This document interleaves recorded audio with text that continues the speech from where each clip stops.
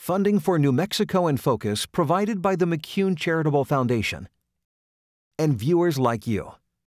This week on New Mexico in Focus, it's official. Netflix is coming to New Mexico, but what will be the real impact of the streaming giant on the local community? When you stay committed to the long haul, you invest resources, not just financial resources, but resources towards workforce development and other aspects, you see the benefit. And the elections aren't over yet, at least not in the 2nd Congressional District, thanks to a new lawsuit. New Mexico in Focus starts now. Welcome to New Mexico in Focus. I'm Gene Grant. Later this hour, the Line Opinion panelists look at the increased friction between journalists and elected officials with a little help from former ABC White House correspondent Sam Donaldson.